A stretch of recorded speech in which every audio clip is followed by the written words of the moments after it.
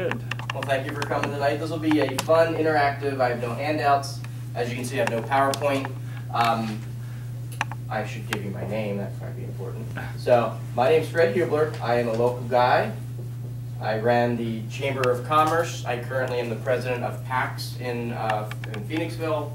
Uh, was a VP of the Senior Center, so I, I, I believe in giving back, and this is part of that giving back. Um, my day job that actually, you know, pays me is I run a wealth management office in Valley Forge. We're now in 15 states. We're not Vanguard, that's the other place in, in, in, uh, in Valley Forge. Um, and we work with, uh, with clients and we solve a lot of problems that I want to at least keep you guys from solving, you know, having any other new problems. Um, one of the things I want to do in this investment 102, I just want to get a little deeper in, in how the world really works. A lot of the stuff we're going to talk about isn't common sense isn't common practice, and the things that are true are not the things most people know. And so I'm here to kind of you know, answer any question that you have. Um, as I said, I'm not dressed to impress, I'm dressed, dressed to educate. Uh, any guesses on what 3671 is or 9599? There's no wrong answer. First time I heard about this, I didn't believe it, and it's true. So, if you were to think of how many stocks are in the stock market, how many individual companies, you would think and feel that probably is a big number. I mean, I don't think it's out of the question to think it's, you know, a lot of companies, McDonald's and, you know, J.C. Penney, all those companies, where actually in the U.S. market, this is the list of stocks with a ticker. This is how many companies that are out there that people can buy.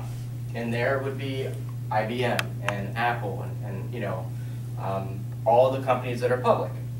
This is how many mutual funds there are, and all these mutual funds invest in them. So I had a client who had a, a very large uh, public, you know, very large portfolio, and it, I couldn't, I didn't want to insult him by thinking, or by telling him he just had you know, no matter how diversified he was, he, he was in the same things. And what I told him is, you have the same type of, you have the same investments, more, we have the same investments as my eight-year-old twins could have. They won't have as much, but you're not, as, as someone with, uh, in this case, you know, millions of dollars, he didn't have anything different. And so part of what um, I want to share with people as, as I teach, as we talk about it, is all of the different ways you can invest we've all been trained to think a certain way. So this is uh, not Charlie Brown or anybody else. Uh, this is a portfolio that I want to have some some audience, you know, participation. What are some things? And we just talked about it. Stocks are one of them. So what are some things you can invest in when you're talking about a portfolio, or when people say a portfolio? We've got stocks. And this is the audience participation part. What else can we have in a 401k or have in an IRA? Um, what other investments do people have typically? Property. Okay, so real estate. That's good. Hi, come on in. How are you? I just gave all the good stock tips. You missed it all. What'd you say? Bonds? Good. Have a seat. We're good. Please have a seat. Uh, antiques and valuables like that. Okay. Cars. Call valuables. Now, a lot of times, it's hard to put that in an IRA or a 401k, but the people definitely can do that. We're kind of splitting out what investments are. So we have stocks, we have real estate, we have bonds, we have valuables. Um, what else do you think? What else do you think of as as an investment? Gold. Gold.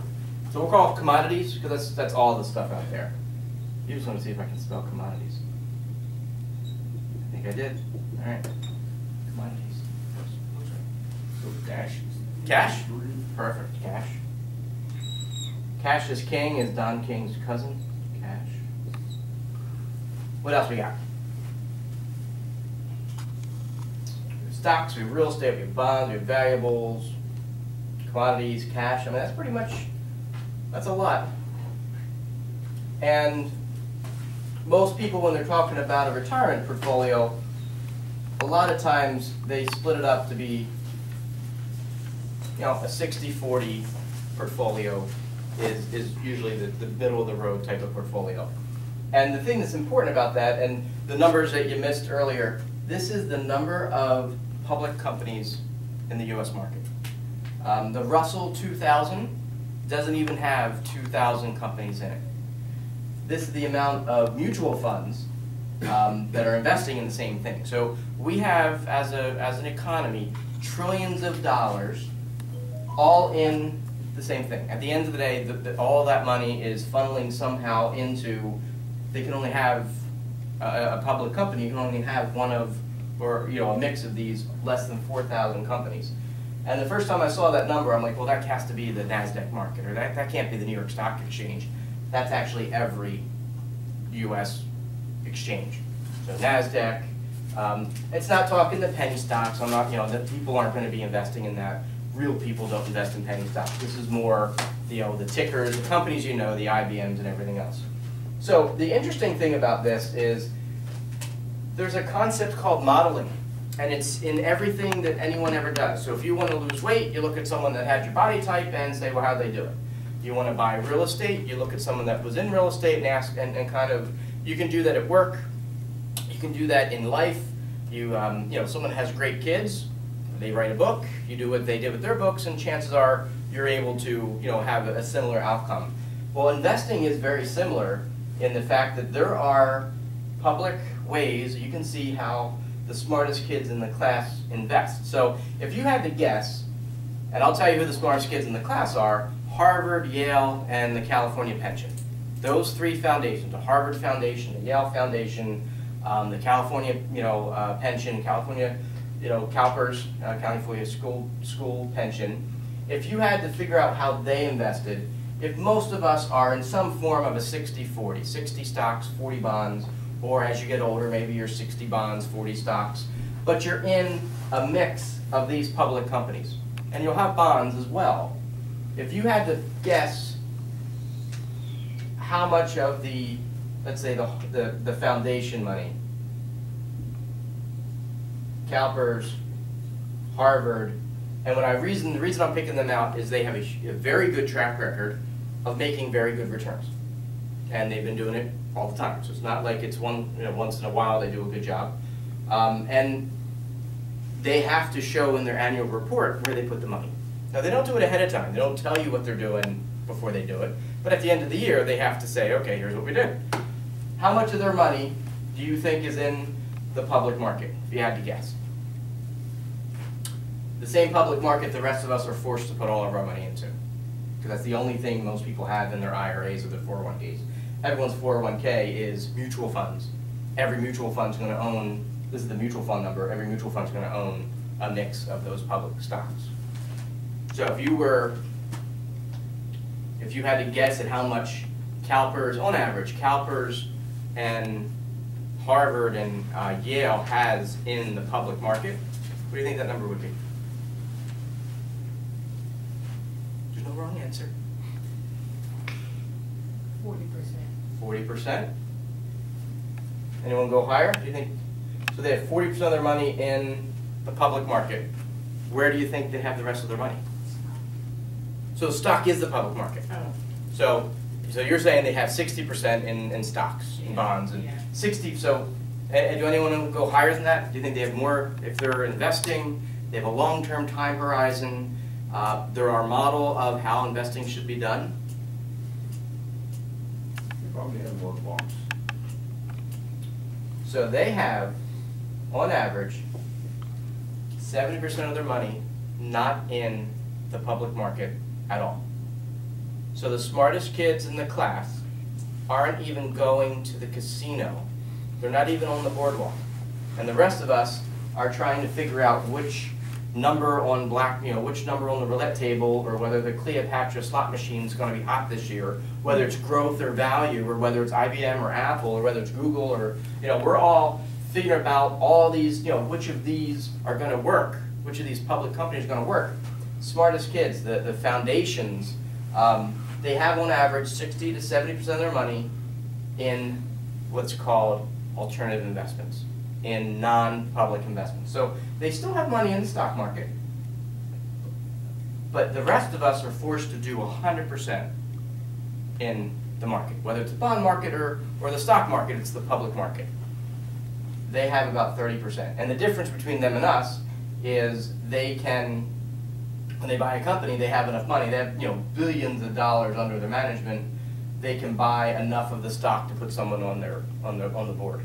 And that's really where how Warren Buffett, and people say, well, Warren Buffett's a great stock jockey, or he's a great stock investor, he is because he buys enough to put someone that he trusts on the board to make the company do the things he thinks the company should do. Um, so he's not just buying a ticker and hoping it. So unfortunately, a lot of the things that we do now, and a lot of the world that we're in now, is um, not as transparent as what things are. You know, we only have we have less than four thousand companies, and and that's the total of all the types of companies. The people that we can see have great track records have seventy percent of their money not in the market at all. So we can say, okay, some of the stuff you guys already did. You have stock, they're in real estate, public bonds they're not in, valuables, you know, whether it's, it- now, they're not buying, uh, you know, a uh, baseball card collection, but they're buying things that are not just in the market. Now, the thing that, that these foundations have that we don't have, they never die and they never pay taxes. So if you can figure that out, I'll come work for you, we'll take over the world, it'll be awesome. Um, and because they never die, foundations never die, they can do things that we know make a lot of sense.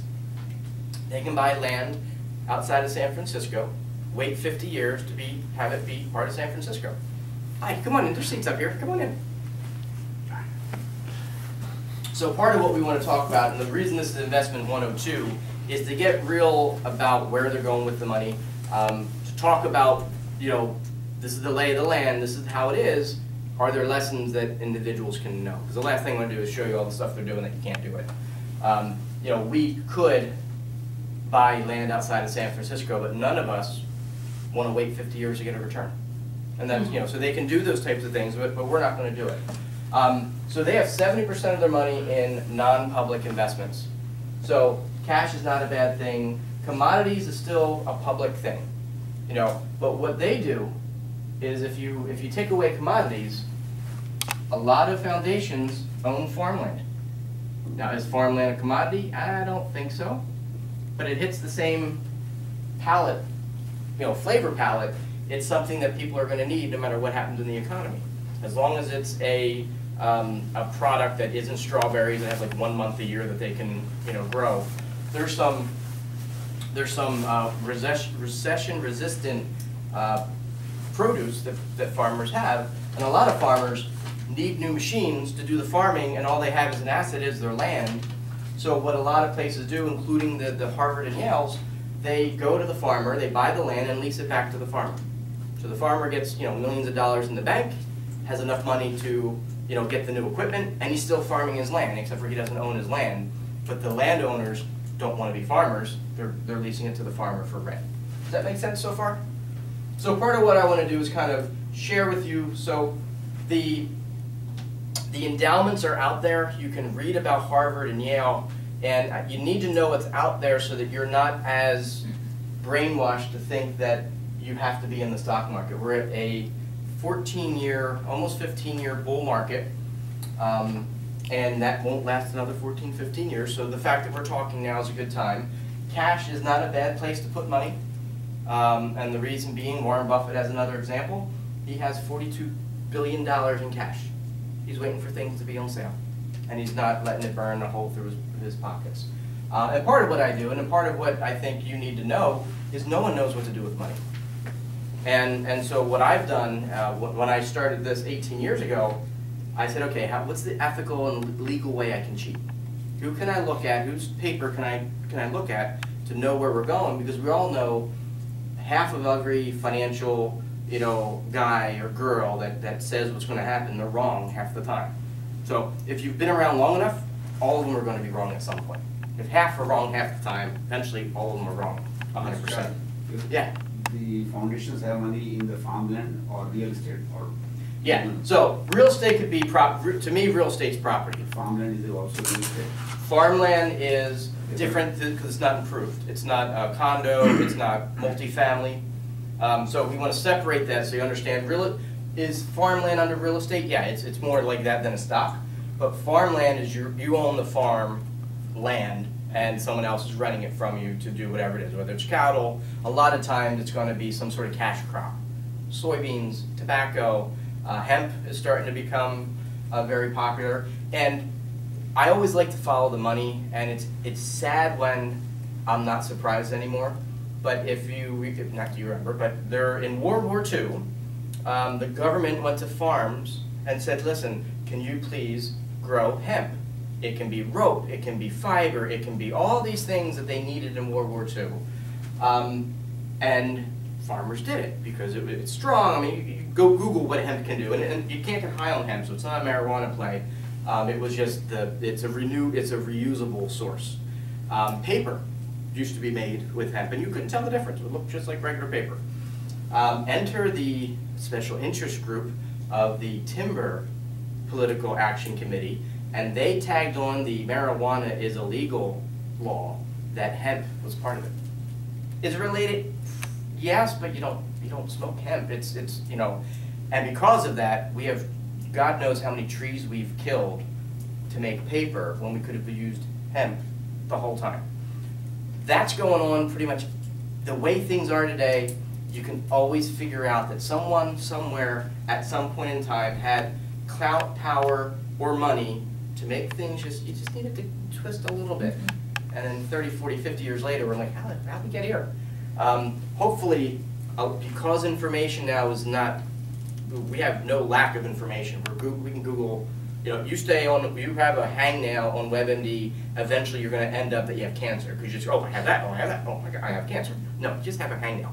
So it's not so much the information isn't, it's, it's the knowledge of what to do with it. And one of the benefits Again, there's a lot of downsides to social media and the internet, and there's, there's things there that we're not going to fix today. But I think one of the benefits is information starting to become more available to say, wait a minute, why can't we have hemp as paper? You know, and when you find out why we can't, I think people are now very, have a very short, you know, short fuse with allowing that kind of stuff to happen. Because it affects us in our pocketbooks and, and in the decisions we're making. So there's a lot out there, but we're looking at Harvard and CalPERS, and they have 70% of their money not in the stock market. And I do want to go over what that looks like. Not that you can do it, but just to know what's out there. Because part of what I want to do for making this investment 102 is to kind of lift up the, you know, the carpet and show you where the wizard is behind the scenes. Because the Harvard and the Yale and the CalPERS, they do okay whether, whether or not your 401k is doing okay. Um, and when you have a 15 to 16 year run up of the stock market, smart people are not putting new money in the market. I can tell you right now, I'm, I'm not letting anyone put any new money in the market. So where are they going? And one of the things you want to look at um, is something called private equity. And look at from a, you need to know about it, not that you should invest in it. And that's really what this class is this class, I have nothing to sell you. I have here, I have information from 18 years looking how the rich get richer, and I want to have everyone know this. Um, and because I have nothing, there's no product to get into this stuff, it can be truly and, and exclusively educational. So if you have, if, um, so before I erase this, 3671 is the amount, total amount of public companies you can buy. So IBM, the ones with tickers in the US market, down from a much bigger number, but between mergers, acquisitions, and bankruptcies, you know, that comes down there. That 95.99 is the amount of stock mutual funds investing in. So you've got almost 10,000 things investing in less than 4,000 things. So when the market goes a certain way, we're all in the same stuff. There's no more, you know, there's no more anti-correlation. And when something like a 9-11 happens, we don't have bonds aren't going to be the thing that goes up, but the stock goes down. If you looked at 9-11 the day of, it all went down. People, it, it just, it, the correlations that they're still teaching today, the correlations of stocks and bonds, and it, it, it doesn't work anymore. They haven't changed the textbooks, but reality says, hey, back in the day where it was hard to buy a bond and hard to buy a stock and hard to get out of it, we can do it on our phone with five seconds. You can do it anywhere in the world. So the correlation used to be because things were hard to get out of, there was that safety net. Stocks are going down, I have to talk to my broker, I gotta, you know, have him sell the bonds. By the time you do that, there's a lag, you know what, things are better now. Now you can do it instantly. So part of what we want to talk about is where are they going? If this, if 70% of, of foundations have money that are not the public markets, we need to talk about where they're, where they're going with it. So interestingly enough, a little bit of trivia, trivia that you'll never have on Jeopardy. Talking about 401ks. What are the types of investments most people have in their 401k? It was that number I just erased up there. It's the public stocks sometimes. Usually it's mutual funds because nobody wants you touching your money in your 401k buying an individual stock. The exception, ironically, is, us- is, is your own company.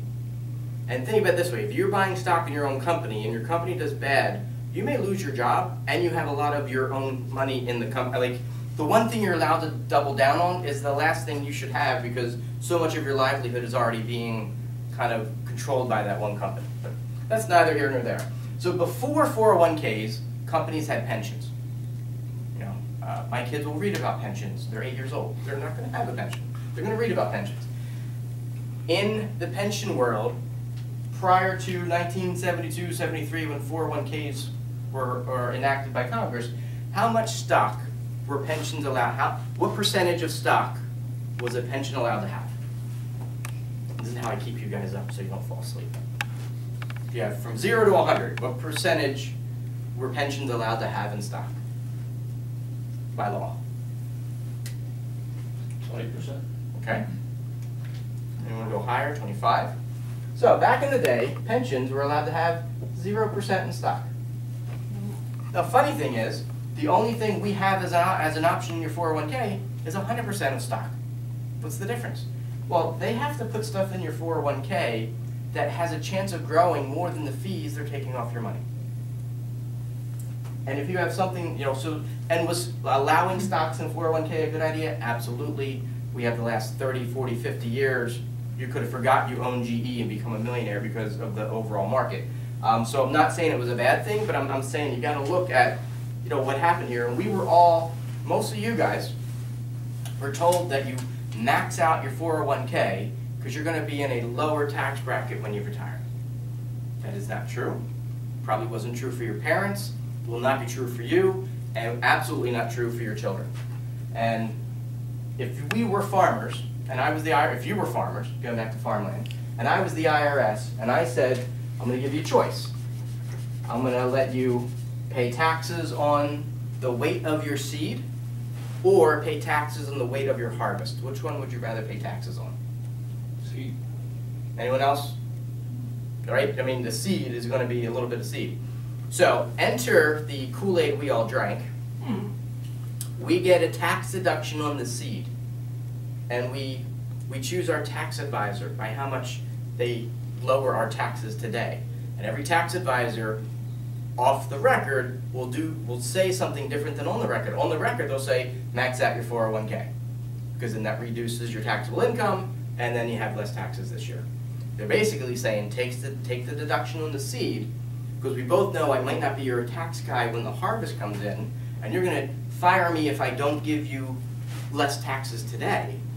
So if you ask an accountant what you should do, and, or what they do, it will not be the same answer. Because they know, people being people, my tax guy told me to do a Roth and I didn't get a tax deduction, so I paid more taxes this year. But what a Roth does is allows you to take that seed, you don't get the deduction, but now the harvest is tax-free. So if you do have a 401k and you do have a Roth option, highly recommend you take that.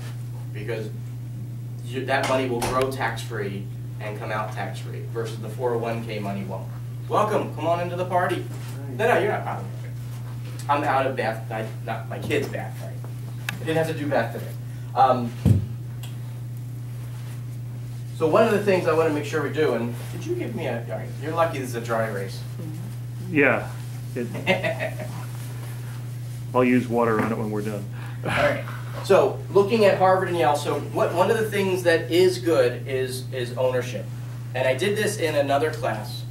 But we need to talk about where we are in the markets. We have a very long, very rich run in the stock market.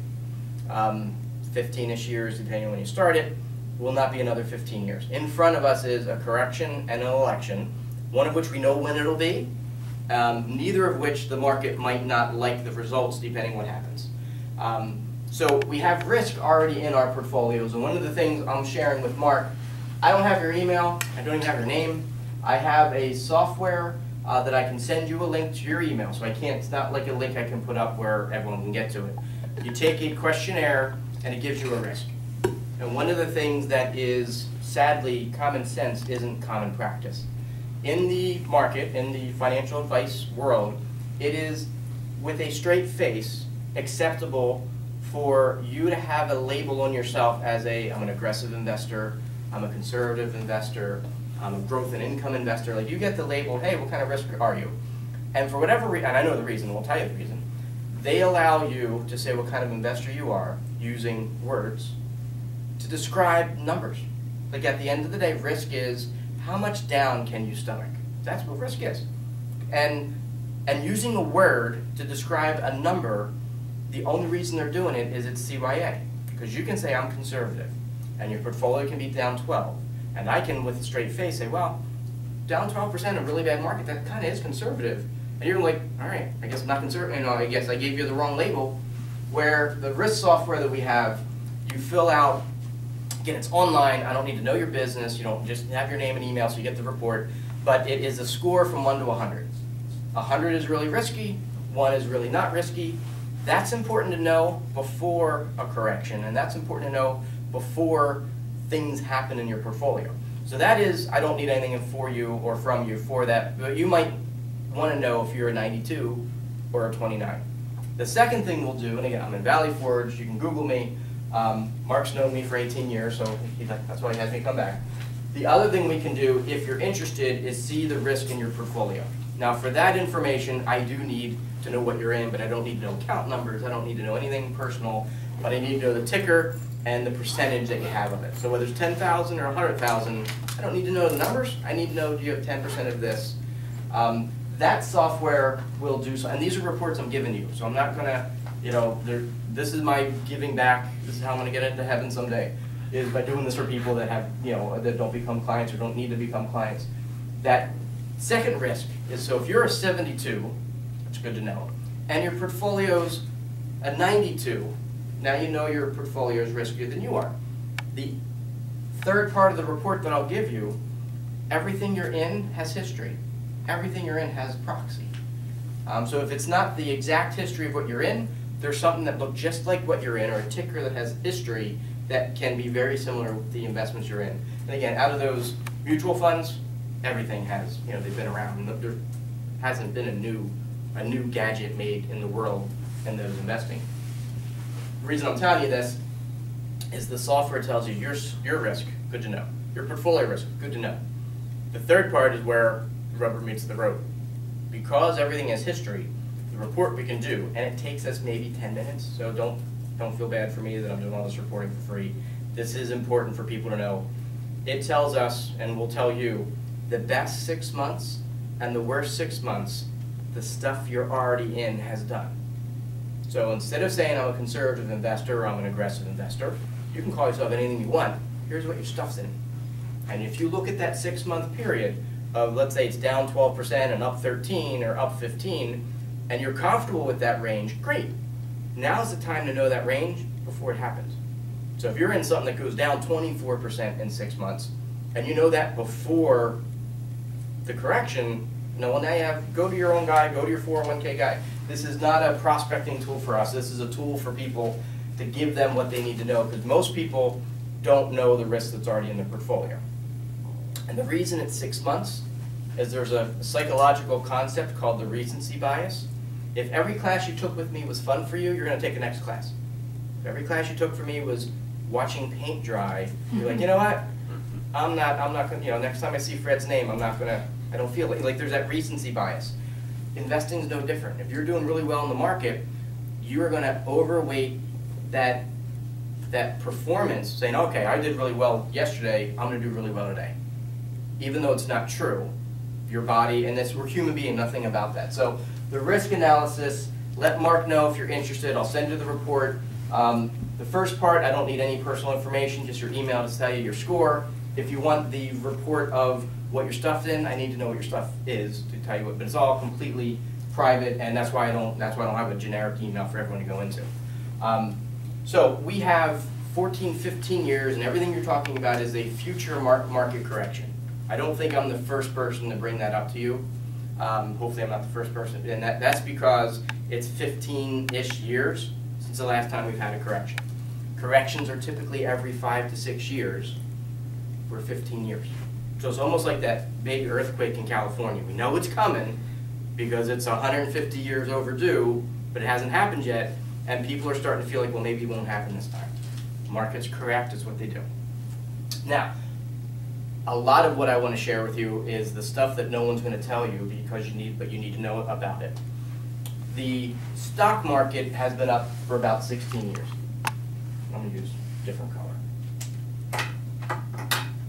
And that's, you know, 15, 16, you know, I'm not going to split hairs, 15, 16 years for stocks. Anyone want to take a guess? Fixed income, fancy word for saying bonds. Like, if we were in class 101, I'd have to say bonds, but now we're in class 102, it's more advanced, we have to say fixed income. How long do you think the bull market, the good market, the bull market for fixed, fixed income has been? If stocks have been up for the last 15, 16 years, anyone want to guess? How long it's been in, it's been good, by the way, I'm not saying it's been bad, it's been good. How long has it been good in the last, for fixed income? There's no wrong answer. Next five years? Five years, anyone go higher? Does that depend on what the interest rates are? Thirty-five years. Not thirty-five percent, look at me, thinking interest rates. Sorry. Thirty-five years. So, for the past thirty-five years, we've been in a cyclical, lower interest rate market. So, we, probably in third grade, we were taught interest rates go down, bonds go which way? Right? We were taught that. Does anyone know why that happens? We're gonna, I'm gonna take this down to 101, not from 102. Um, you're gonna buy my bond. So, let's pretend, and uh, let's see how friend, how many friends you have. Do you want him to make money or lose money on buying the bond? Make money. I see you have a friend. Just one. She said, she, she was thinking. All right, so, let's pretend that, um, the year 2000, interest rates are at 5%, and I am GE and I'm selling a 10-year bond. Now, there's something very important about bonds that is not the way bond funds work. So we have individual bonds, like an individual stock. A bond fund owns a bunch of individual bonds. Hopefully it didn't lose any here. So what we're doing right here is an example for an individual bond. And an individual bond is something, if you can have access to it, you should think of doing it because there's going to be a ver- there's going to be an element of owning an individual bond that is unreplaceable in a bond fund. You can't do what we're about to do right now. You can't do in a bond fund, and it's important because things are going to change when we talk about it's been 35 years up. So we want you to make money. What's your first name? Mohan. Mohan. We're going to Mohan to make money. I'm GE. Hi, come on in. Thank you. Is it snowing out there or No, anything? it's not. Told you, Mark. All right, so he's going to make some money. He's going to buy a 10-year GE bond. I'm GE. Here's my bond. And he's giving me $10,000. I'm giving him 5% for the next 10 years.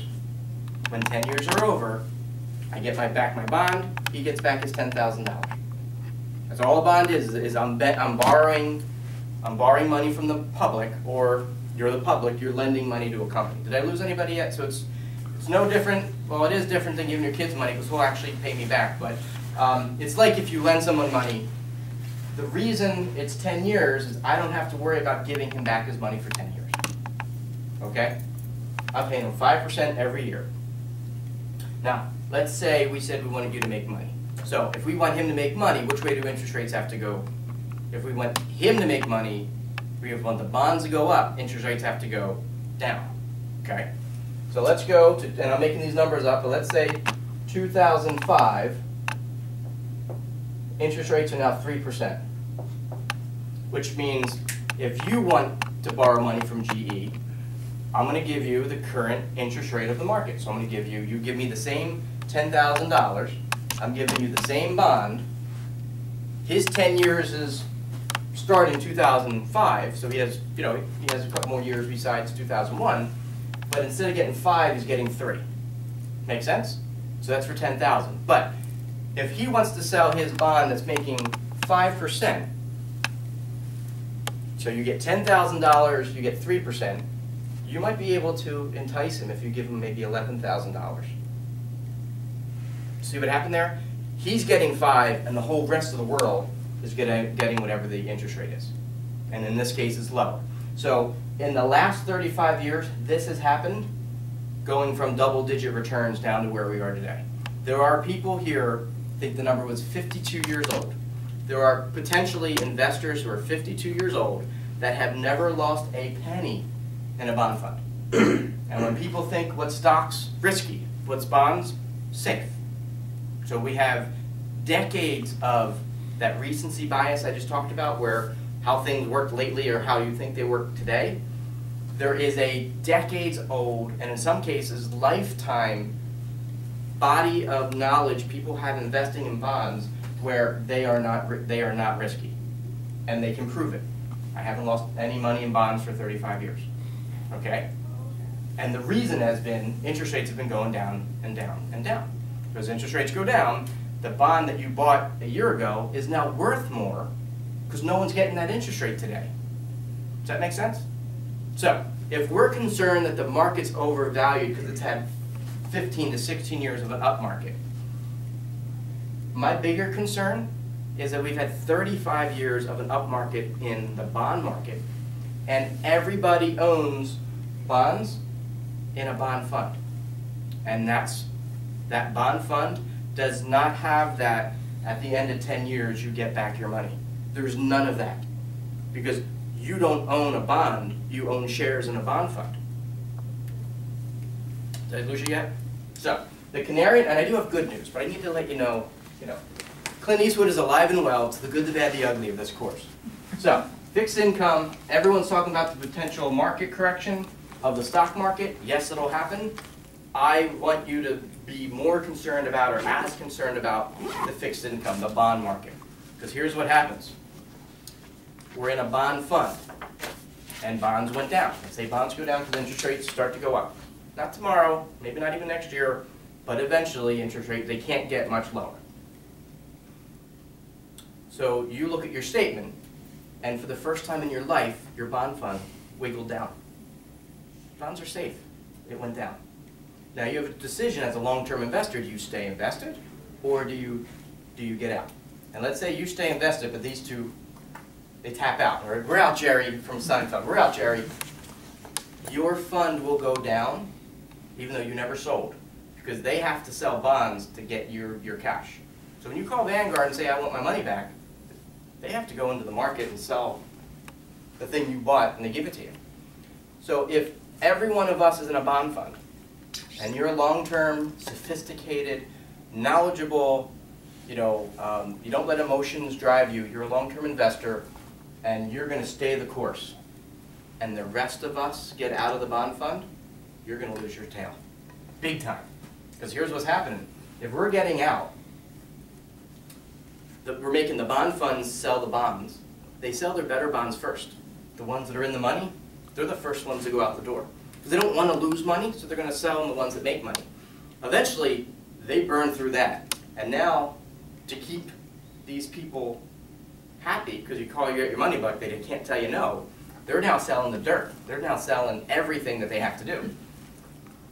And they're selling bonds in a world that if the interest rates are going up, that vehicle that we just had where he made money because interest rates went from five to three, it works perfectly the other way. Let's go back in time. 2001, or yeah, 2001, 5% CD for me. In this case, I'll do what she wanted me to do before. I'm gonna make you lose money. I'm just, let's say interest rates are now 7%. So now you have ten thousand dollars. You borrow money from me, I'm GE, you're getting seven percent. No one's gonna get you, no one's gonna pay you anywhere near ten thousand dollars on something that's giving away five percent.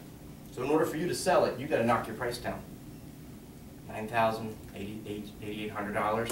You don't have to worry about it, the market will tell you what, what you're gonna get. Like, you don't have to figure out, hey, interest are up, I wonder what I should make my bond. No, you go into the ticker and it says, here's what your bond's worth today. It's calculated for you. If interest, rates are higher than when you bought it, your bond's down. Because that's the price to get out of a bond that nobody wants when they can get a new one. It's almost like the new car. No one wants the old car if the new car is paying more. Make sense? So there are people today that have not lost a penny in the market. And if you're interested in the canary in the coal mine, Google Bill Gross, literally that was his name, G-R-O-S-S. Earlier in class, called class, early in our meeting, we talked about modeling.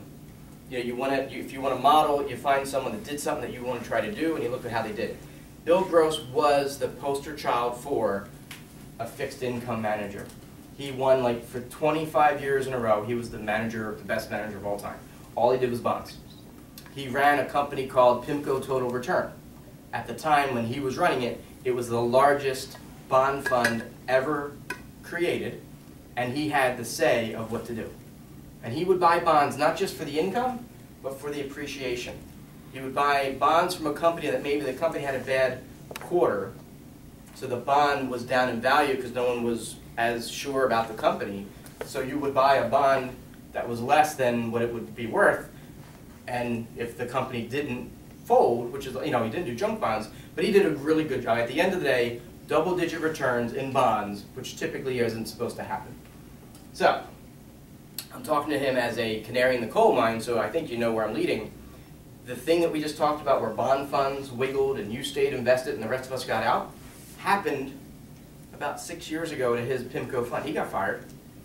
And if we had to guess, what do we think the underlying investments in the fund, how much do you think they went down?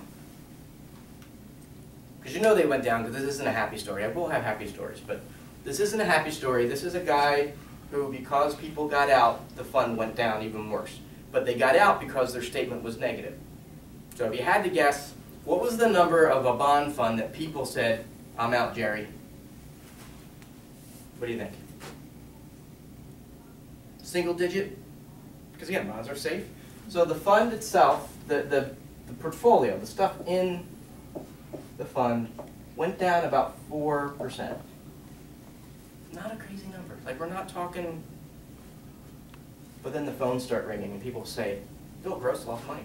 I'm getting out. I'm getting out. I'm getting out. At one point, the fund itself went down 35%. You, as a long term investor that didn't want to get out, but the rest of us called and said, I want my money back, they have to figure out what the portfolio is worth. And if they sell good stuff to give you back your money, the portfolio doesn't have good stuff in it anymore eventually if it runs out. So what we're saying is the underlying investment, that individual bond that we just talked about, only went down 4%. The fund, double digit.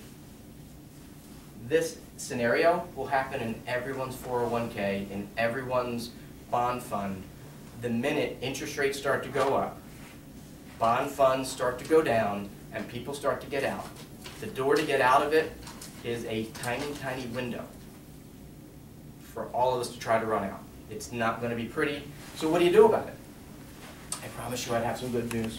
In your 401k, you want to look for, you will not have any bonds, individual bonds. I have never seen in 18 years, ever seen a 401k that lets you buy individual bonds. Now, if you're no longer working and your 401k can roll over into an IRA, this, that would be one, and there, you know, one scenario is you take the 401k, you do a tax-free rollover into an IRA, an IRA allows you to do anything you want with it. So if you open up an IRA at E-Trade, I don't care where it is, you can then buy individual bonds if you wanted to. And that individual bond, as long as the company's alive, so in this case it was GE, as long as GE is there in 10 years, no matter what the bond, now, now our bond will still go up and down. His statement for the next 10 years is not a 10% for the rest of his life. It'll go down to 87, it'll go up to 12. you know, if interest rates keep doing nothing but go down, it'll go down from ten thousand dollars, which is what he paid, down, down, down. Except for as it gets closer to ten years, it will be worth ten thousand dollars, because that's how bonds work. So worst case is, he has an ugly statement for nine years, eleven months, and on the month where it's ten years old, it's gonna be worth ten thousand dollars, because that's how it works. And the thing, the reason you buy the bond is for the income. He's getting five percent, no matter what it's worth. So it really doesn't matter what it's worth. Your bond fund, that, that five percent number he's guaranteed, you're not guaranteed. So, in, so you have two things to do. You can get out of the, I only have bond funds as a choice, and that would mean you have a four oh one K that you're no longer part of the job, you know, your, it's a- your old four oh one K. You can roll over into an IRA, and then, you know, look for some good bonds. You can do government bonds, like, it doesn't matter what the bonds are, but as long as you have an individual bond, you'll have that protection we just talked about. Second thing is if you are in your 401k and you're still working and rolling it into an IRA isn't an option, you can do short duration. So you'll see it under short term or short duration. That mechanism that as interest rates go up, bonds go down, has an, a component that is age-based. The longer term of the bond, the more extreme that movement is. If you are in, in going into a bond fund that's short duration, you don't have that much money out long-term, which means that interest rates go up, your bonds aren't gonna fluctuate that bad. Right? Make sense? All right, my last pressing thing, and then we're gonna talk some good news. So remember 2008 afterwards? They could figure out how the dominoes fell. Like when it happened, we didn't know what was going on, and then you know, Lehman's blowing up and everything's blowing up. Um, but afterwards, they were able to say, "What the just happened?" and let's figure this out. And they were all dominoes, and they were almost every domino was meant with good intentions uh, there was a president that wanted everyone to be able to own a house, so things got a little bit freer for who can own a house. Mortgage companies wanted to have a mortgage. They didn't care that you couldn't pay for it, but you know, that's your problem. So all that happened.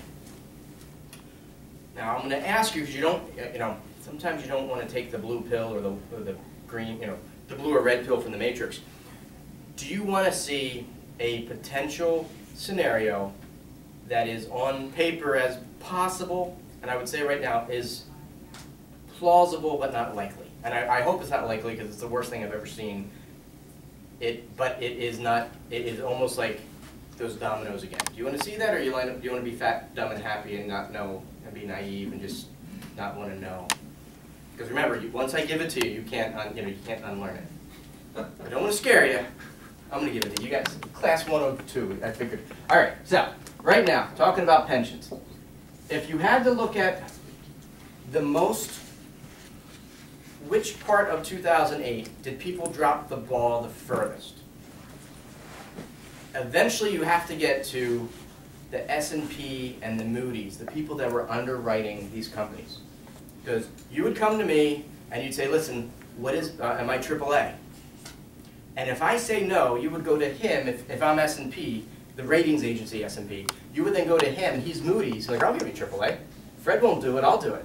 So in order to keep your business as mortgage company or whatever you are, I'm gonna give you a AAA. Because I know if I don't, you're gonna go over there and he's gonna give it to you, so might as well, I'll make some money, I'll give it to you. So in 2008, those things happened, and the day after I gave you a AAA, you went bankrupt the very next day. You couldn't have been AAA in real life if you went bankrupt the very next day, and it wasn't one company. Most of the market, most of the mortgage market did this. Today they're great, tomorrow we're bankrupt. And the ratings company were the ones that gave the stamp of approval. So that's important to know. So pensions have been, if you have a pension, God bless you. Pensions have been looking for places to put money to get some sort of yield. Because you are not dying like you're supposed to. Yeah. They have a lot of people out there that, oh my goodness, you're still here. So pensions have been one of the biggest purchasers of fixed income And triple B is the lowest rating you can have and still legally be in a pension. So if you go to, from triple B to double B, a pension can't own you. Does that make sense? And again, these rules were there to protect you. This is an investment grade. This means this company is good enough that you can invest pension money into it. So it's meant to protect you. But if this company goes from triple B to double B, the pension isn't allowed to buy you, isn't allowed to own you. For the right reasons. Again, this is all for the right reasons. Did I lose anybody yet? All right, this is gonna get fun. So, GE, GM, Ford, and AT&T.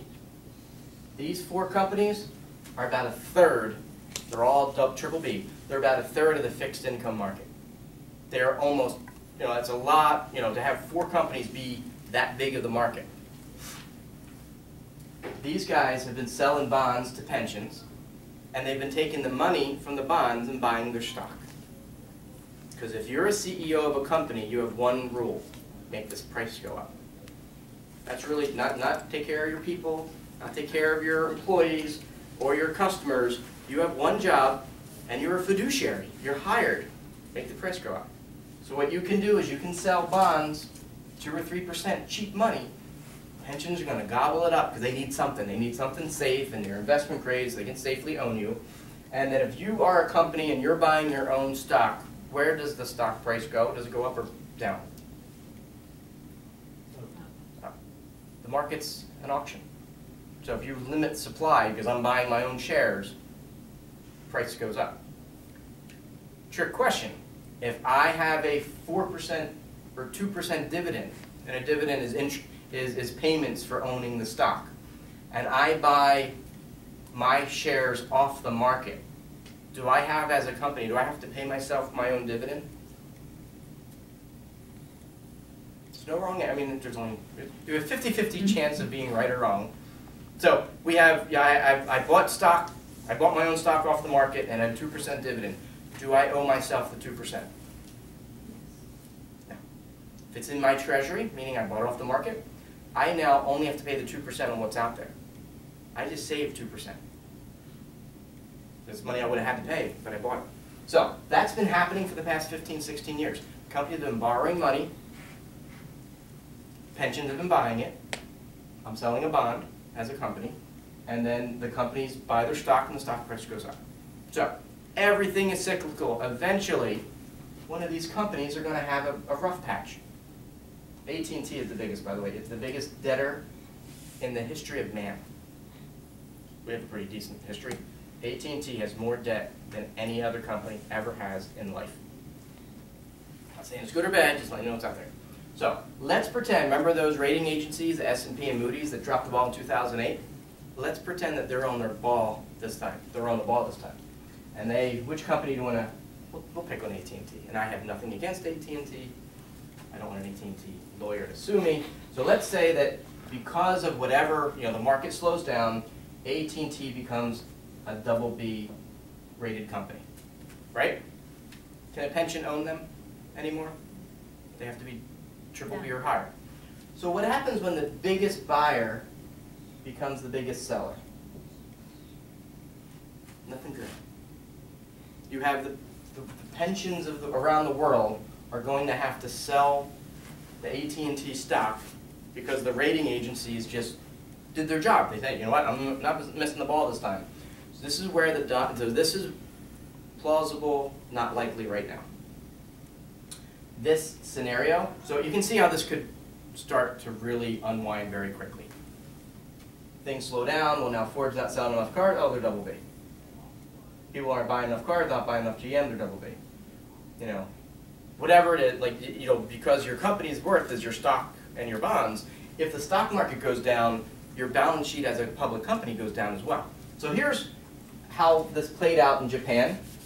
Japan is seventy percent of the fixed income market, meaning the government of Japan, because no one else is buying, becomes the buyer of last resort.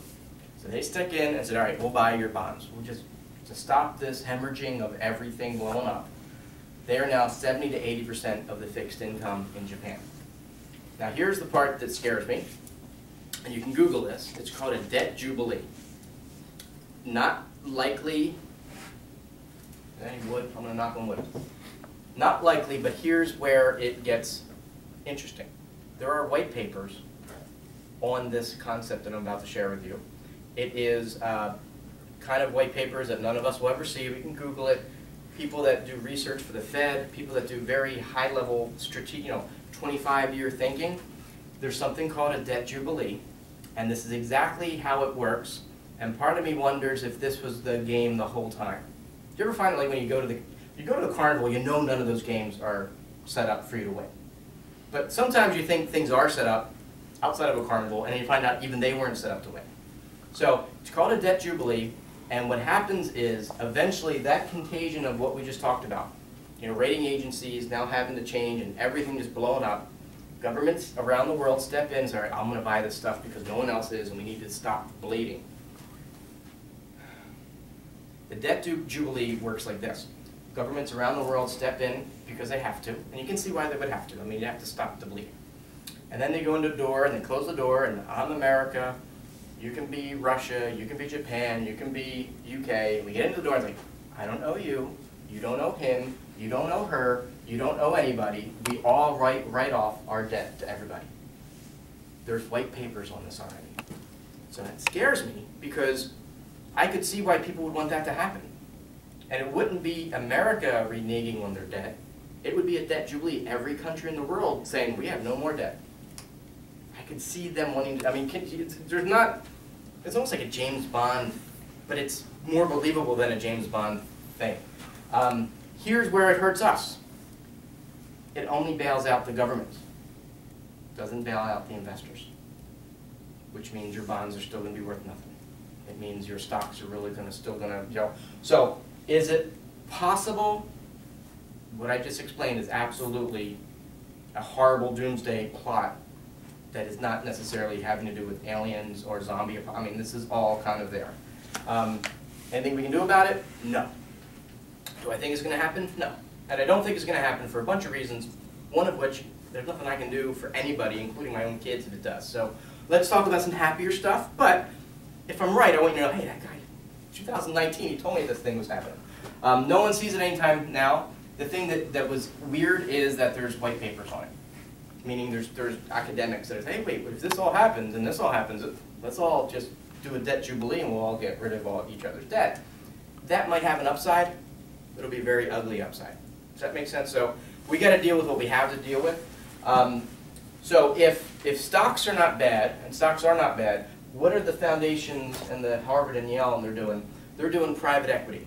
So whenever you think of private equity, almost one or two of you in the room think of Mitt Romney, because he was in private equity. The thing I want to add to you is think of Pretty Woman, Richard Gere. That was private equity. You would buy a company and split it in pieces and sell the pieces. Um, so what do you want to look at from where to put new money? So this is the question, if you had a dollar, ten dollars, where do you put new money? And this is a way of looking at it that I think will be a good way of looking at it for the next four or five years. Because it will kind of steer your decision. Holding and hoping is not a strategy. so buying Apple and just hoping the next Apple phone is a good phone is not a strategy.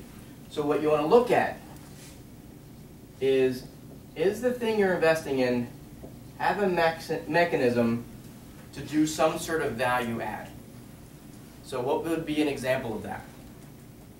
Private equity is, a, is an example of that. So that is a company, private equity company will not buy another company unless they know ahead of time what they're going to do to turn it around. So remember Twinkie, Tastykake, yeah, the, the Twinkie people? So before Twinkie went bankrupt, 30 cents of every Twinkie went to pay people that retired from the Twinkie company. They weren't working there anymore. They were getting 30 cents of every new Twinkie. Now Twinkies are like two bucks. So we're talking a very hefty amount of Twinkie money wasn't going to the current people making Twinkies, it was going to people that retired.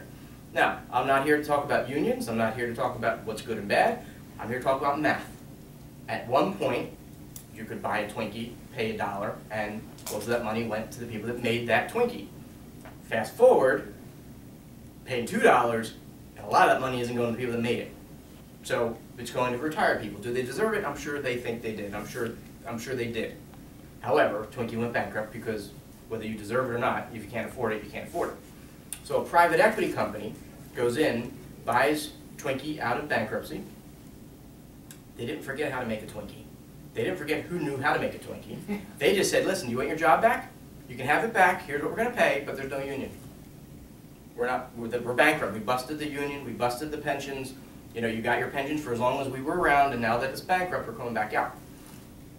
Those things happen all the time, and they happen with private companies, they happen with public companies, but the idea is, a private equity company will not buy another company unless before they buy it, they know what they're gonna do to add value. Now, the Twinkie is a simple example, but it's almost like the HGTV flipped this house. We're not buying this house unless we know what we're gonna do with the kitchen and bedroom, or bathroom, to make it look like a better house. So you have value add in stocks, it's called private equity. And you can Google this stuff, there's ways that you can get access to it. I'm not here to sell you any of it, I'm just showing you, this is where they're going with the seventy percent. Um, So, a proxy for a bond, if we were on Jeopardy and we were, the question was, what is safer, a bond or a note? What do you think people would say? From, a- all else being equal, is a bond safer than a note? Now, a note, I could have a piece of paper saying, I owe you twenty bucks, and that's a note. We know bonds typically have, you know, big books, and they have, you know, a lot of prospectus, uh, literature behind it. So it would not be, you would not be completely wrong if you guessed that a bond is safer than a note. Um, You would not be wrong in thinking that. You would be wrong in saying that, because that is not true. Going back to when GM went bankrupt. Shareholders got, anyone remember what you got for your GE stock? Zero. Bonds. So if you had a ten dollar, ten dollar bond, you got twenty, you got two dollars. Twenty cents on the dollars. And a little bit of stock, which is not worth a whole lot. Right. So you, it sounds like you lived it. Yeah, So, there is something, and once you understand these things are out there, you need to have your, your, your eyes open. So, there is something called a senior secured note. So this is, um, capital structure, and let's say riskiness, stocks are risky because you can get zero back on it, and bonds are up here. Senior secured note. Senior, does that mean anyone's ahead of us? When you were a senior in school, was there any No. grade ahead of you? No. No. Senior means I'm at the front of the buffet. Secured, you want hundred million dollars? Show me something worth hundred million dollars, I'm gonna take. Rich people get rich because they don't lose. It's not because they don't take risks they don't need to take. And if you want hundred million dollars from someone who has hundred million dollars, rest assured, they're gonna ask for it to be kind of like that carnival game, but in their favor. Senior means I'm in the front of the buffet line. Secure means I get to take something from you if you don't pay me. And note, instead of a bond, note means the interest rate will float as the interest rate floats in the real world. So in that example where the interest rates went from three to five, interest rates go down, bonds go up.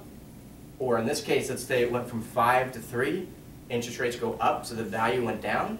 If you're a note and interest rates go from five to three, your note's the same price.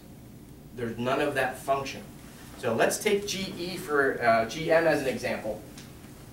Senior secured note, now, these aren't things that most people got into back in the day. These are um, sovereign wealth funds, these are institutions, these are Harvard and Yale, like people with lots of money can give GE or GM a, you know, $50 million purchase. But what do they have to kind of pony up as their assets? They have property, plant, and equipment. Right, you're G, you're GM, you have property, plant, and equipment. You go bankrupt, you come out of bankruptcy, what do you need to stay GM? Property, plant, and equipment. So not only as a senior secured note, not only did you pay me, because I lent you the money, not only did I get your assets when you couldn't pay me, you came out of bankrupt, I sold the assets back to you. I made it on both sides. I made it, so bondholders got eighty percent loss, stockholders got hundred percent loss. Senior secured notes, nada, no loss. Because you need a property, I got your property, but I, no, frankly, they don't need it, they don't want it, there it is. So there's ways if you do, um, if you look up senior secured notes today, there are funds that give you access to those things. And they're important because they don't have that interest rate going up, bonds go down function, because they're notes. And the notes are based on interest rates, the current interest rates. They're not a bond. So a note between you and I might not be as safe. Senior secured notes, it's the highest thing in the structure. Make sense? Yeah, so, so, so no matter what the market does, it is what it is, it's there. And the best thing with notes, again, if you're gonna have hundred million dollars, you're gonna be rich, you're gonna write the rules to keep you rich, frankly. The, most notes, especially the good notes, have what's called covenants. They'll say something like, okay, by the way, you're like, you're, let's say you have twenty percent debt. If at any point your debt goes to twenty-five percent, my note's callable. I'm gonna call my money back. So not only did you borrow money from me, not only am I first in line, I'm senior, not only is it secure because I have an asset, not only is it a note so interest rates don't screw me up, if you start borrowing money from someone else, I'm gonna make you pay me back, because I'm out. Because you're borrowing money from someone else, mean, might mean you're not making the right decisions, and you have to pay me when I get out. So, I- I think all of us have a little voice in our head that think the rich get richer because they know things that other people don't. I can, um, we'll have to edit this, I can tell you not only is that true, but it's a government program. Um, and what I mean by that is, has anyone ever heard of an accredited investment? Okay, you're not alone. It is illegal to talk about accredited investments to the population if they're not accredited investors. I got nothing to tell you, so I'm not breaking any rules. So a, an accredited investment is a certain subset of investments that licensed professionals have access to, not all of them, but most, good ones do. And they can't talk to you about it unless you're already a client and they understand your net worth. Now, again, everything's kind of done with good intentions. It is so, they're not very liquid, in a lot of cases, they're not liquid at all. But if you Google accredited investments, you're gonna find that there's, there's a part of the menu, it's almost like when you order something from Starbucks that isn't in the menu, but it's like the special, this is in real life. Um, senior secured notes, those things are, are credit investments. Um, and the more people that know about them, the more likely, you know, this will get out there and you guys can, can learn from this. Because if the smartest kids in the class have seventy percent of their money not in the stock or bond market, you might want to look, and, and you can look at Harvard and Yale's annual report. That's my secret sauce. I study the annual report and see what they're doing. They're buying storage. You want to make some money? Storage. We're seeing it in Phoenixville.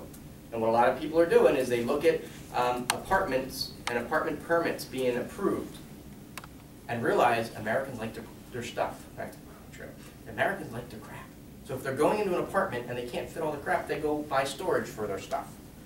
And storage is easy because if you don't pay, your stuff's, I take your stuff and I rent your, I rent your room to her. And I don't have to worry about you saying your toilet's clogged up and the roof's leaking, I don't. And now with apps, I don't even need to have a person let you in. The app knows who you are. Did you pay? Yeah, here's your code. Here's your stuff. You didn't pay? Yeah, all right, we're gonna sell it. So storage is one place. So again, going back to the value add, there's value add in, in, in the stock market, and that would be private equity. Those companies don't buy things unless there's private equity. There's value add in real estate. So there are companies out there today that are like those, uh, the property twins on HGTV, but they do it as a real business. And the, the one that I know of, they are the third largest purchaser of granite and stainless steel GE equipment behind Lowe's and Home Depot. Because every kitchen they do looks the same. They have a team of people, so what they do is they buy what's called B and C level, like ABC. A is the best type of, you know, multifamily apartments.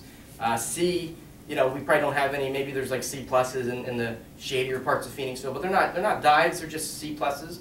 Most is, you know, C plus, B. So what these companies do is they buy a C plus or a B and make it, you know, a C plus into a, an A plus. Um, and all they do is they fix the kitchen and the bathrooms. That's where people want to see their money, that's where you're, I mean, you don't, when you visit someone else, they don't normally, hey, come and see my bedroom. They, they're in the bathroom, you're in the kitchens and, and the, and the bathrooms. Um, So there are companies out there that when they buy real estate, they don't buy something unless they have a value add component. So if you're gonna put new money somewhere, hoping and holding is not necessarily where you wanna be. I'd rather you sit in in cash until you find whether it's a mutual fund that has a, you know, they do turnarounds or they only buy companies that are undervalued and here's what we do to help them make value. Uh, the holding and hoping isn't gonna work. And if you're late and you're not invested in the next, say, six, nine months, and the correction happens, you're up the amount of money you didn't lose. That's the whole, if you just, if you just don't lose, you're gonna be up. So it doesn't feel, don't feel like you have to run into this stuff, but you wanna look at where Harvard and Yale are putting their money, storage, private equity. Um, they can buy land, like I said, they can buy land outside of San Francisco and wait fifty years for it to become San Francisco. None of us have the time to wait for that, but you can have exposure to storage. There's companies out there that, that are mutual funds and they do storage. But you wanna look at what is the thing they're doing with their money, with your money? Is that going to create value even if the market's flat or negative? So if there's a recession and I'm taking a C plus apartment building and making it into a B plus, I'm adding value outside of what's going on in the world.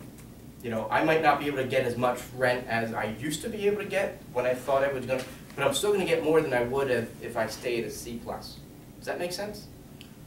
Throwing a lot at you. All right, so, um, takeaways. I wanna make sure you guys get some things out there. The um, Roth versus traditional, this is the, the seed versus the harvest.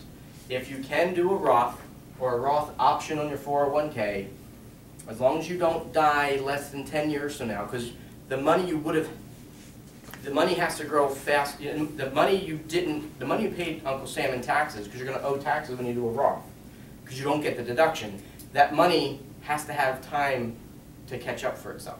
Meaning you might have 4,000 less dollars today because you did the Roth and you didn't get the deduction.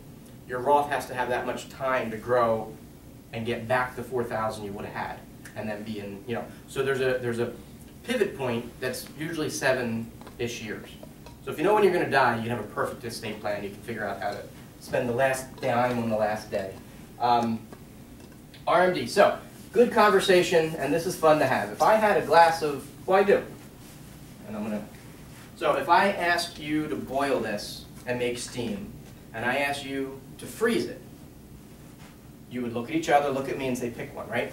If you- If you're, if you're gonna boil this water, and let's pretend like it's in a glass bowl so you can boil it and you can freeze it. With a straight face, when it comes to investing, people will say, here's my retirement nest egg. I want it to grow. I need it to be liquid. I need income from it, and it can't go down. What you just described are four different states of water. The thing that will not go down won't grow. The thing that will grow won't be, you know, won't just go up, it'll go up and down. So what you have to do, and this has to do with income, your RMD question, you need to triage your portfolio by what it's going to do for you. So one of the things that, that we look at is having, figuring out what you need for lifestyle. Because retirement, and I know I'm gonna, I'm giving you extra free time since it was free. Retirement is a man-made concept. In, in nature, there's no retirement. And if you, again, following the money, we talked about this with the whole, the hemp and the, the timber, you know, political act. So in the Industrial Revolution times, retirement was created to get the 30 and 40 year olds, the old guys, off the assembly line so the 14, 15, and 16 year olds could do your job faster than you. So in order to get you off the assembly line, they gave you the carrot. If you're going to retire at 30 or 40 or whatever, you know, because we got someone 12, 13, 14 going to take your job. Going to do it faster, and we get to do it cheaper because they don't want as much money as you. So retirement came in, and that was, so security came in shortly after, uh, pensions came in shortly. It was the carrot to get you off, get you off the field. So we can have someone do it cheaper and probably do it faster because they're younger. Now, that doesn't happen that extreme anymore, but retirement's still that artificial line in the sand. And if you replace res- retirement with lifestyle income, now you're thinking the way wealthy people think. If you have enough lifestyle income coming that you don't have to work for, whether you call it retirement or not, you're kind of set. If you need ten thousand dollars a month and you have something kicking off ten thousand dollars a month that you didn't have to work for, because you invested in storage or you invested in any of those other things, whether you call it retirement or not, you're getting to the same place. But retirement almost says you're done working, which isn't true. You, um, you, you're converting your, your, your retirement nest egg now has to have, be in the same thing, by the way. You're still in the stocks and bonds you were in before, but now you're expecting a completely crazy expectation of this money. The market was up and down the whole time you were funding, you were funding it. But now that you're retired, you expect the market not to go down. It ain't gonna happen. And so what you need to do is triage and figure out, okay, how much, how much do I need in income? And then find the investments that do that as a primary. So, that's gonna be some dirty words. Annuities do income. I don't care if you get an annuity, but it's what they're built for. They're built for income. Are they liquid? Oh no. Are they cheap? Oh no. Do they grow? Sometimes. Do they go down? Doesn't matter, it's income. The income will.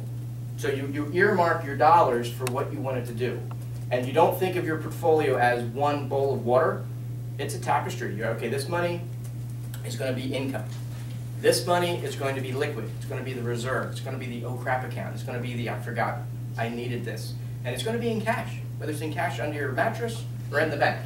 Um, so the few places that you have it, or the few ways that you wanna think about it, you got income, you got reserve, which is just cash on hand, you have growth, and hopefully that means you have money that you don't need right away, so you can wait for it to do what it needs to do. So this growth money, you don't expect it to be liquid, you don't expect it to go up, you, uh, you don't expect it to just go up, you're giving it time to do its thing, but you also have to give this at least seven years in the market. Because if not, you have a chance of going into it right before 2008, then you're out of it in 2009 and you miss it when it came back. If you, if you had a coma in 2008 and woke up in 2010, you made money. Because in 2008, you were down 30-ish percent, 2009, you're up 27, 2010, you're up another 20-ish. So if you just forgot you were in the market, or you had a coma, or you fell asleep for three years, you didn't lose any money. Everyone who lived through that did not stay invested, they got out. And if you're on the vine that goes down 10%, and you get off that vine, you're not gonna get your 10% back. You've gotta be on the same thing that went down, whether it's the same investment, but you have to be, the thing that went down that much, you have to be exposed to on the way up. Don't really have to be in the same stock, that's not what I'm saying. And then, where you can, income, reserve, growth, and when you can. So this is getting back to seventy percent of their money is not in the public market. What's it in? If you know antiques, as an example, that's an investment. So if you know antiques, if you know that there's things that, that are being sold that are less, that are more valuable than how they're selling, whether it's baseball collection, this, so this is alternatives. It Doesn't have to be alternatives where you're a credit investor and you're getting into private equity. I'm just saying there's other ways to get a return. And there's a ton of places that will do this with our IRA money. So I have, uh, I have seen, they're called syndications, again, you have to Google this stuff out there. Um, there are business owners that say, okay, I wanna convert the Kmart in Phoenixville to something else, and I don't have all the money to do it, I'm gonna open up, you know, and buy and sell shares. I'm not doing this, by the way, so it's not me. You could use a custodian that is an IRA and use IRA money to do those types of investments. Are they liquid? Oh, no. They're not liquid because you're gonna not get your money back until that becomes something else. Are they risky? Yes. But is it as risky as putting a new dollar in something that's had a 16-year run? I'd have to say probably not as risky as that because at least real estate can't go to zero. So open up, and the real thing I want to take away is open up your thoughts to more than what everyone else is doing. Because where everyone else is, has been long played. Stock market's been up 16 years, bond market's been up over 32. Though nothing lasts forever, we have a correction and an election in front of us, and either of those might end up being something that spooks the market. If we have a socialist as a president and now healthcare is free for everyone but taxes are 98%, the market's probably not gonna like that. I'm not gonna be political here, but I'm just gonna say, speaking of how I know how the market works, a lot of people are like, you know what, I'm not, you know, we're not doing that. So, um, few things. My website, I made public all of our videos and all of our research and a lot of calculators. You don't need an advisor to do the stuff you already are doing. So ccwmg.com, catcatwilliammarygreg.com. Go to resources. You don't have to log in. I'll never know you're even there. Um, there's calculators, how much you need to save. Um, there's articles on a lot of what we talked about, and there's simple articles. I retired in 2018 from the NFL Players Association. For 10 years, if you Google, still true today, but for 10 years, um, if you Google best NFL financial advisor, you organically got me. I'm a kid out of Valley, you know, I, I have an office in Valley Forge. Um, I like to think I'm like The Rock, but I have better hair and I'm a third the size. If I can explain these things to football players, you guys, you can get it as well. Um, so I gave you extra time, but I also want to leave time for questions. I threw a lot at you. So we had a doomsday scenario, um, shared with you what people, so we only scratched the surface. So hopefully this is enough to have you Google some of the stuff we talked about and and look at maybe putting it all in stocks and bonds that everyone else is doing might not be the only thing you should do. Definitely should be part of it. Um, what other questions you have? My time is yours. I already got out of trash and bath night for the twins, so I'm, I'm good. I'm gonna grab something to drink while you guys are. What questions do you have? I can go deeper in any of the topics we talked about. Oh, I have a question. Sure. Since I came in late. So with Vanguard, let's say mutual funds, S and P five hundred, is, that's something you're advising to separate? So Um, it's that both have been very good for a lot of people for very long. Yeah, So in the bond, now, in, in most cases, you're there, you don't want to be a financial advisor. I'm not saying you need to start picking stocks. Um, so you can start to say, okay, on the stock side, you could pick funds that are more recession resistant. So high dividend paying, uh, what's called recession, and there's, you know, you can Google what's recession resistant fund at Vanguard, you'll get answers. So again, you don't need me to tell you, you don't need me for the answer, you need me to tell you the questions you want to be Googling. right. Um, on the bond side, and you can do this at Vanguard, I love Vanguard, we have millions at Vanguard. Um, on the bond side, you want to do short, short duration. Uh-huh. Because the short duration doesn't have that same interest rates are going up, my bonds are going down. It, it's not, it's not that extreme when it's a short duration. Make sense? Yes, yes. Good question. You had mentioned um, the accredited investment? Yes. And that it's rather secretive, you have to have a particular net worth before. So the individual's two, two fifty of income as an individual, three fifty as a couple, um, and typically million dollars of net worth, not counting your residence. Now, doesn't mean everything we talked about, you can Google, you can still find other ways of getting into it, but from a regulated, that, that is the numbers. So if you're working with an advisor and you have those numbers, and you still don't know what an accredited investor is, then you're accredited and they're not, meaning they don't have the access to it. There's a lot of, um, I spent two years in a brokerage firm. I opened the office in Kimberton. Um, it's a firm you know, it's a good firm. They never would offer accredited investments. Um, because their job is stocks and bonds and mutual funds. And so I realized that it was, uh, not a fair, once I found out that these existed, I'm like, well, that's not fair. I'm in Vanguard's backyard. I'm never gonna be cheaper, never gonna be bigger. And I can't just sell the same thing they're selling and expect to make a difference. Um, so I lasted at the brokerage firm for two years, so I'm 18 into it, so 16 years ago, I went independent just so I could be where Vanguard wasn't, because I was never going to compete with that. Um, but there's other places out there that do it, and if you just know that they exist, it kind of is almost like having a, a password at a restaurant. Oh, you want the, you know, Singapore noodle. That's what we have here, you know. Um, and it starts the conversation, it opens up your eyes, okay, I'm pretty sure, you probably think this, you're probably sure Mitt Romney probably doesn't have all his money in mutual funds. Whether it's at Vanguard or Fidelity, doesn't matter. Well, why not? Where, where are they? You know, how did he make all of his money in private equity? You know, they bought the, those types of investments, bought the, the Twinkie company, you know, and, and they turned them around. Or they'll buy a company and break it apart and sell patents to someone that wants the patents, sell the real estate to make storage. I mean, you know, these things, the, the really good ideas have simple stories behind them because that's what actually happens in life. Um, most of the Wawas we see back in the day, probably 2005, 2006, a lot of the ones that were being built at the time, Wawa didn't own. they bought the land, they made it a super Wawa, put it in the gas tanks, and then sold it to a trust that then leased it back. Because Wawa's money isn't in owning the real estate, it's in tying that corner up and going down three more blocks and tying up the next corner. And so that's, you need to, you know, follow the money, that's where you need to, because that's what actually, that's what creates wealth, is where, what's really going on.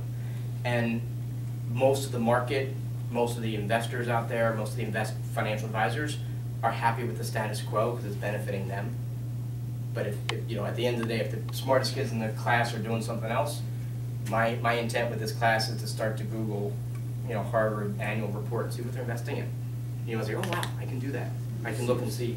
Shoot. You- you- You're saying that because they are the best in the class, what they are doing must be the right thing. So they have a track record a track that is record. atypical to a retail investor. But we, we think about S and P five hundred, for example. Right. They have a track record ten percent per year. uh, Sure. Returns. But what's the track record of uh, private equity funds? So the track record I'm talking about is the Harvard and Yale. What is their track record? So they're double digits, and they didn't go down as much as in, in 2008. And, and, published, so we don't see, they're all I don't hear it all the time. I Yep, hear the S and P Yep. returns ev- every time. so the annual report for Harvard and Yale is, is public knowledge. Google it, they have a whole website based on it. And it's a proxy for how wealthy people are investing. Now, like I said, they don't die as a foundation, they don't pay taxes, so that's not, you can't do exactly what they're doing. But look at their annual report, you'll see where they're invested, you'll see that seventy percent of their money is not in the stock market. Now, They're short of that, not going to that. Like this S&P I was saying, I can, uh, any day paper you open, you can Yep. see that. Yep. Or anytime you Google what's it, you Sure. can see. and when the market crashes, you'll see that in real time too. Yeah, so, but, yeah, for so many years it has not been. Right, right. Yes. And every time you said president changes, then there is a risk, you know. Mhm. But, it- it- and the last three elections, every time Obama came, and then second time he came, and then Trump came, and nothing happened to the mar- market, Sure. and each time it went up. Yeah, it's been a new president. For now, sixteen-year ride. So with the new president didn't make a difference, so now election comes, you, you shouldn't be afraid that election is coming there, so it's going Sure. go down. It's not so much that the election, it's the corrections happen every two to four years, and it's been sixteen. So if you look at the historical corrections, it- not since nineteen twenty-nine did things run as fast and as hard as they run now. I'm a numbers guy, so if, if a correction happened yesterday, I would be the most aggressive investor the day after. I'm, s- I'm looking at it saying, okay, what's the chances that this is gonna run another sixteen years? Chances that could happen. What's more likely is it won't as a straight line. So where are, and, the other part is, where can we get double-digit growth when what we've been in has done so well for so long that it would be naive to think it's gonna keep going? And, and a lot of what we're doing is consumerism. You know, the seventy percent of the, I keep using seventy, seventy percent of the GDP of our country is on what you guys are buying. If you slow down, everything is going to get screwed up because we are supporting Apple and Amazon. Um, you know, you're writing a check to Comcast and Verizon. That's all. You know, that money gets, in a good way, duplicated. Now you have, you know, the guy that works for Verizon got paid because you paid your bill. Now he goes to Burger King. It's just all interrelated. Um, so from a stock market standpoint, we're not overweighted in stock market only because of how much. And, and Warren Buffett is again another role model. All this is modeling, none of this is me guessing. I'm looking at what people I think have a track record of making the right decisions more often than not. Warren Buffett sitting on $42 billion in cash. He could buy anything. He's waiting. So, so that, that, that all weighs into, okay, what's he waiting for? I don't know. He probably doesn't know. He just knows that forty things. billion he may be having in cash, Hmm? but uh, as a percentage, what he may be having in cash. I'd have to, but it's, it's, it's the most he's ever had in cash his entire investing career. Thing, so these outliers to me are telling a story. If the smartest investor has more cash than he's ever done in his entire career, I'm gonna listen to that, whether, you know, you don't have to. If I go into Google, what do I find under the private equity re- re- returns? What are the returns? Should- I put in Google? Mid- What are the returns of private Yeah, equity? so there's, like everything else, there's, uh, private equity is a con, is a, is an asset class. So it's like saying, what's the return of stocks?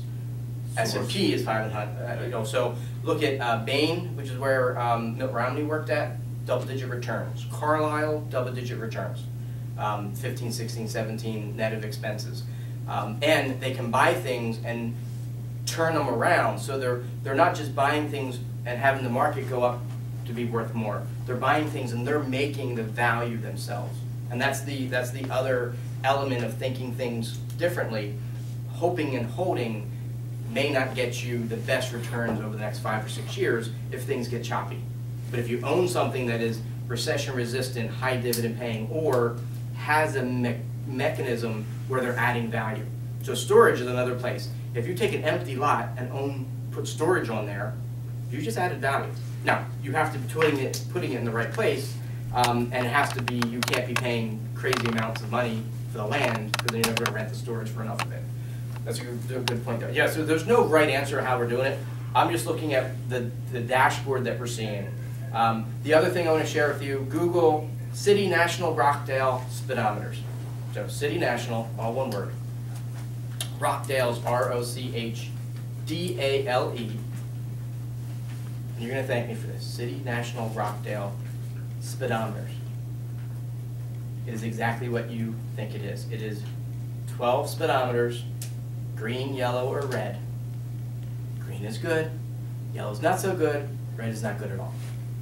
You don't have to do anything other than look at the speedometers. The speedometers are about 16 years old. They go back 16 years. So you can see historically what the speedometers changed going into 2008. You can see the, the you know, and it's a speedometer, so you can see the, you know, uh, the, the, the, the needle move, and it goes from green to yellow to red. Six months ago, there was never as many green as there was. Um, now, I would say of the nine green, six are yellow. In six months. And now, what was red was uh, political turmoil. Like they just say, here's what it is, and they have no skin in the game. This is just what their research is showing, and all they do, and, and they have someone assigned to each speedometer, and it'll say equity valuation. It'll say, you know, um, interest rate risk. It'll, I mean, it's all there, but it's simple, and all you have to do is not be colorblind. You don't have to understand the words if things are green, things are you can you know be very comfortable in the S and P 500. When things are starting to go yellow, you just have to think a little bit more before your money. If things are going red, you might not want to add more money to it. Um, and and so if you look at that, it's out there, it's public. Again, you don't have to log in. Um, I check them every month, and and because they have a track record, you can play with it. Oh, what did it look like six months before 2008 really hit the fan? And you can see it and, and it, it's there and it's public. So City National Rochdale will let you know what's going on in the big picture, and none of those speedometers do any of us have any control over. But it's nice to know whether something's green, yellow, or red. Um, the reds, there's only two reds, and there's been two reds most of the last decade.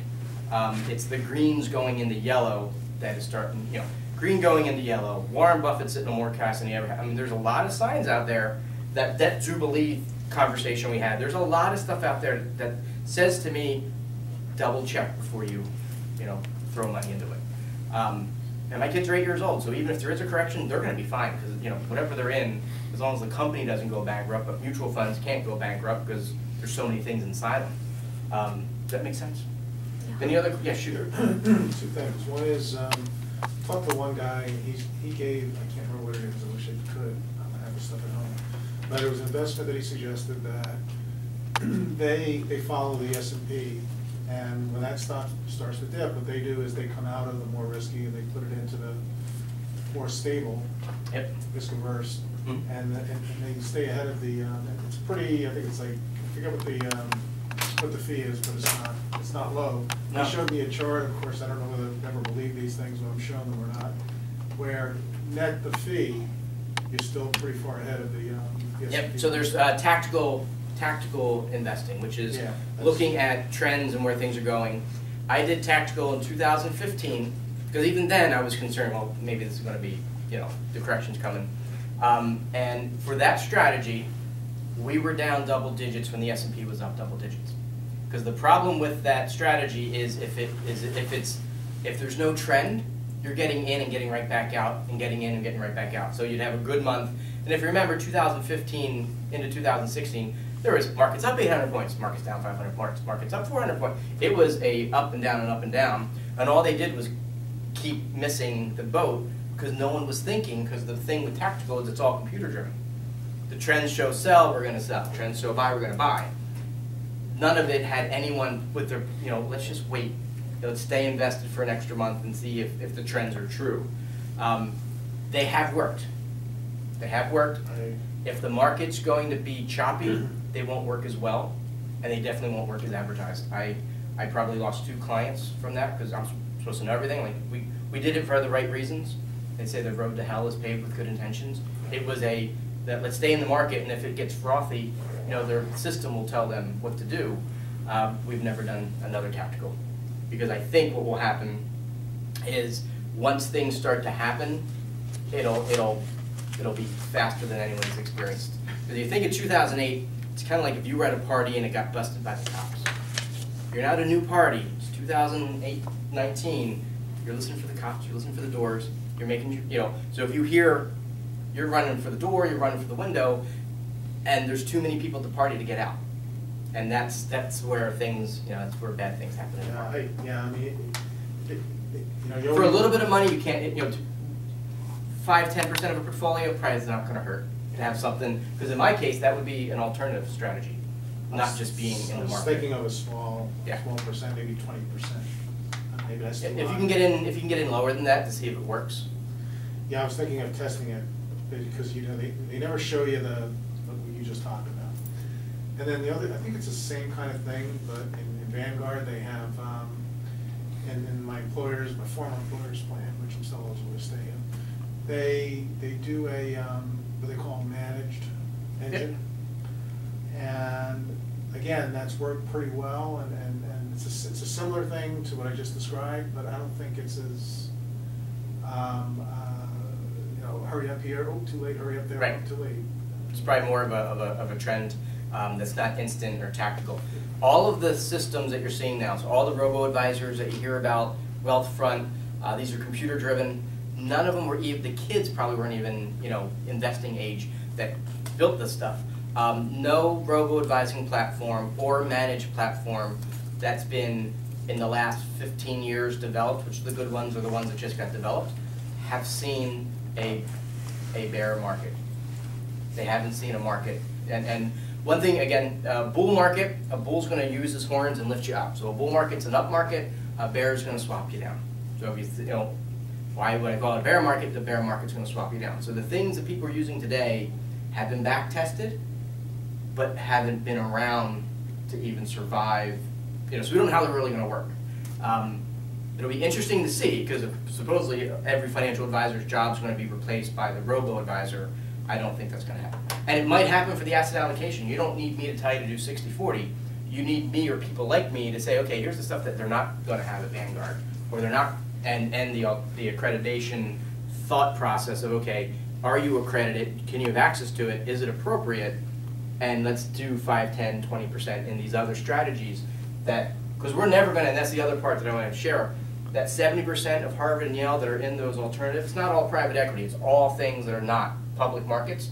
You as a individual, not a foundation, are limited to 25%. So even if you are accredited, you have a million dollars in the market, only 250 can go in that that, that category, which is okay. I mean, I'm not saying it's good or bad, but you will never get to be 70%. So you'll never, an individual will never have the returns that a Harvard and Yale can. It's not fair, but that's the way the So- rules So are. that managed money algorithm that some of these have, like the Vanguard, for example, we, we have no idea, they've never been tested. And neither do, they'll be back tested, but we don't know how the algorithm will handle it today. So it's not a bad thing, it's just, you, you know, they don't lead, that's not their first bullet point on the brochures. Hey, we've never seen this in real life. We built it, you know, five, six years ago, and we haven't had a down, down market in eighteen years. We think it'll work, but they can't say that it would.